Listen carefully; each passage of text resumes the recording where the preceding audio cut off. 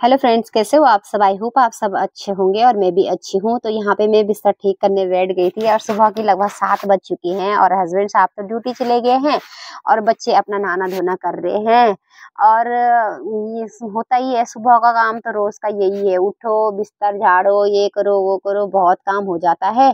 और मेरा तो थोड़ा मतलब जिस दिन हस्बैंड की छुट्टी होती है, उस दिन तो थोड़ा हेल्प भी कर लेते हैं। वैसे तो कोई हेल्प नहीं करता है। बच्चों को बोलने से तो बच्चे तो बिल्कुल, मम्मी, हम पढ़ाई कर रहे हैं। मतलब उनके बहाने भी अलग ही होते हैं कि हमको पढ़ना है, ये करना है, वो करना है, बिल्कुल भी हेल्प तो बिल्कुल कोई भी नहीं करता है तो खुद हमें अपना काम खुद ही करना पड़ता है, सारा दिन का काम।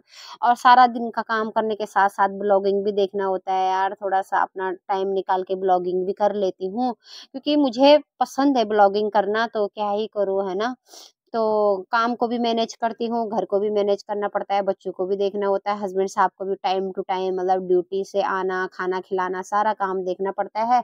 और यहाँ पे बच्चों का स्कूल का जहाँ पे वो स्टडी करते हैं, वहाँ पे मतलब पूरा ये बुक भी उन्होंने फैला रखी है। तो बुक बक पूरा ठीक करके फिर दूसरे रूम में आई तो दूसरे रूम में भी मतलब कंबल कुंबल ऐसे फैले हुए थे तो उनको साइजिंग से लगा रही थी। मेरा तो सुबह का काम मतलब एक घंटा मैक्सिमम बिस्तर के ऊपर ही चला जाता है। एक कंबल फोल्ड करो वो कंबल फोल्ड करो सारा मतलब आ, सारा घर मैनेज करने में ही एक घंटा पूरा लग जाता है। तो फ्रेंड्स होता ही यही है ना। हाउस वाइफ कोई भी हो यार, उसका काम ही मतलब कमर टूट जाती है, सच्ची में बता रही हूँ। सुबह का टाइम से और दस बजे तक का टाइम बहुत टफ होता है हमारे लिए, क्योंकि एक मिनट भी फुर्सत नहीं मिलती है है ना? और जबकि हम लोग सुबह वो चार बजे उठते हैं। चार बजे उठने से भी मतलब दस बजे तक तो काम खत्म ही नहीं होता है बिल्कुल भी। फिर मैं इधर वाले रूम में आई तो इधर भी छोटे बेटे का मतलब जहाँ पे वो स्टडी पढ़ाई करता है, वहाँ पे भी उसका टेबल भी ऐसे फैला हुआ था। सबसे मेन बात तो वो जो पेन का ढक्कन अलग और पेन अलग करके रखता है। ना वही मेरे को उठाने पड़ते हैं। तो सारे पेनों में ढक्कन लगा देती हूँ और कितना डांट डांट के भी हूँ ऐसा मत किया करो क्यों ऐसा करते हो? तो नहीं मानते हैं फिर भी है ना? फिर मैंने यार मेरा ये जो कपड़ा टांगने के लिए लाया, लाई हूँ ना स्टैंड, इसमें मैं स्वेटर स्वेटर सारा रखती हूँ, अच्छे से रख देती हूँ, क्योंकि शाम के टाइम में ज़्यादा ठंडा होता है तो बच्चे पहन लेते हैं, सुबह के टाइम में मतलब फिर दिन में तो थोड़ा गर्म हो जाता तो मैं यहाँ पे मतलब अच्छे से उनको साइजिंग कर देती हूँ, और अच्छा भी लगता है, साइजिंग किया हुआ सामान पूरा, है ना? और सारा दिन यही काम है, ये कपड़ा निकालो, वो कपड़ा निकालो, फिर धुलाने के लिए रखो। मेरा तो दिन भर ऐसे ही चला जाता है, सच्ची में ना। और हस्बैंड साहब तो मेरे ढाई बजे जैसा आते हैं घर, फिर उस, उनके लिए खाना भी बनाना होता है। और क्या बोलते हैं, मैंने मतलब पूरा घर का पूरा साइजिंग करके फिर यहाँ पे मैंने यार किचन में पहुँची तो किचन में भी बर्तन फैले हुए थे तो बर्तनों को भी फटाफट साइजिंग किया। अगर बर्तन भी ना किचन में भी ऐसे बर्तन फैले होंगे तो अच्छा नहीं लगता बिल्कुल भी। तो सुबह में सबने ये हस्बैंड साहब और सब नाश्ता करके चले गए। तो ये देख लीजिए इतना मेरा किचन ऐसे फैला हुआ था। तो बच्चे भी नहा के आ गए थे तो उन्होंने भी नाश्ता मांग लिया था। उन्होंने नाश्ता नुश्ता करके सारे बर्तन यहाँ पे फेंक दिए थे। तो मेरा किचन इतना फैला हुआ था ना एक घंटा लगा लो, आप मेरा किचन में भी एक घंटा चला जाता है। बर्तनों को समेटते समेटते, फिर झाड़ू मारते मारते तो एक घंटा लग ही जाता है।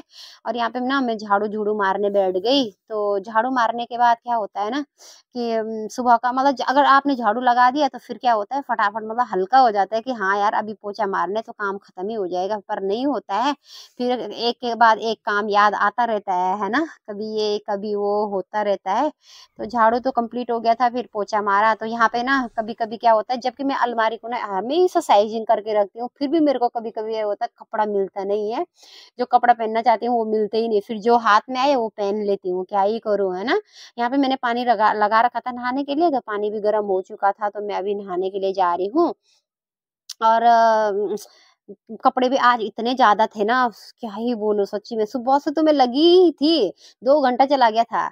फिर दो घंटे बाद फिर अभी नहाने के लिए गई तो नहाने के लिए देखा तो बाथरूम में भी इतना ज़्यादा कपड़ा है यार, बहुत हो जाता है आजकल के कपड़े, है ना? क्योंकि तीन तीन चार चार कपड़े सब लोग पहनते हैं तो कपड़े क्या ही वो एक दो बाल्टी तो आराम से निकल जाते हैं कपड़े भी।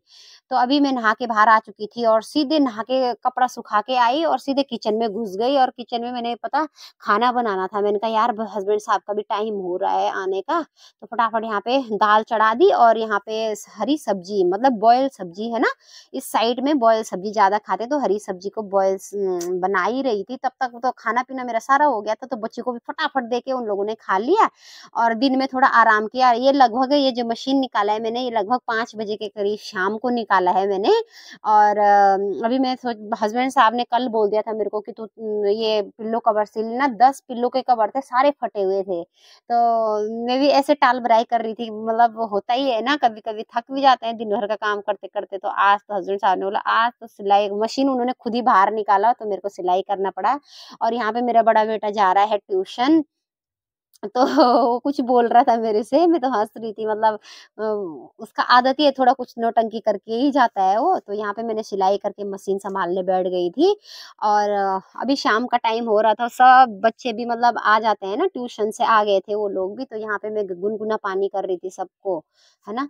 तो हमारा आदत ही है लगभग चार बजे, साढ़े चार बजे के करीब हम लोग मतलब यहाँ रात पड़ जाती है साढ़े चार बजे तो हम यहाँ पे गुनगुना पानी पी रहे थे, बड़ा बेटा तो अभी ट्यूशन से नहीं आया था, छोटा बेटा ट्यूशन से आ गया था और हस्बैंड साहब और अन्नू और मैं यहाँ पे पानी पिया पानी पीने के बाद तुरंत मैंने चाय भी बना दी। पाँच बजे के करीब ये लगभग चाय बनी है मेरी और अभी प्रियांशु भी घर आ गया था ट्यूशन से तो सभी लोग हम यहाँ पे चाय पी रहे हैं और मैंने मतलब पूछा उन लोगों को, कौन सी चाय पियो? गुड़ वाली पियोगे ना? ऐसे चीनी वाली बनाओ। तो सबने बोला, नहीं मम्मी, शाम के टाइम में चीनी वाली बनानी है। और बड़ा बेटा के कानों में ये लीड लगा हुआ तो उसको मैं खींच रही हूँ नीचे की मत लगा, थोड़ा सा फ्री भी रखा है ना कान को। तो यहाँ पे चाय पानी भी हो रहा है, साथ में और गप भी लग रही है है ना? और ये अनु कंबल के, ठंडा इतना हो रहा था, मैंने कहा, यार, मैं मैं तो जब इस रूम में आती हूँ, ये वाला रूम हमारा बहुत ठंडा है तो मेरे को रूम हीटर चाहिए चाहिए, जब मैं अनु को पढ़ाने के लिए आती हूँ यहाँ पे, है ना? और अनु तो फिर भी कंबल के अंदर बैठ जाता है, लेकिन जब मैं आऊँगी, मैं रूम हीटर लाऊँगी तो दूसरे रूम में रहता है, नहीं तो रूम हीटर है ना तो मैं जब इस रूम में आती हूँ तो मेरे को इस रूम में रूम हीटर चाहिए। तो अभी मैं अनु को पढ़ाने के लिए आ गई थी और थोड़ा इसको संस्कृत, हिंदी मतलब पढ़ाना पड़ता है इंग्लिश साइंस मैथ ये खुद ही कर लेता है, लेकिन हिंदी में और संस्कृत मेरे को समझाना पड़ता है इसको एक एक वर्ड इसको समझाना पड़ता है। तो यहाँ पे मैंने इसकी स्टडी की तैयारी करवाई और ये तो गुस्सा करता है, लेकिन हिंदी और संस्कृत के लिए नहीं मना करता है, क्योंकि उसकी समझ में थोड़ा कम आता है। तो यहाँ पे मैं उसको पढ़ाने के लिए बैठी और मेरा भी दिन भर का रूटीन यही है, रोज का रूटीन यही है मेरा का, अपने काम पे लग जाओ, फिर शाम को, रात को, फिर बच्चों को पढ़ाओ। फिर बस दिन यूँ ही कट जाता है और आप सभी को भी मतलब जो भी हाउस हाउस वाइफ होगा सबका रूटीन यही होता होगा खाना पीना बना के फिर बच्चियों को पढ़ाना है और अभी अन्नों को पढ़ा के ना मैं किचन में जाऊँगी फिर उधर खाना पीना सब बनाना है मेरे को।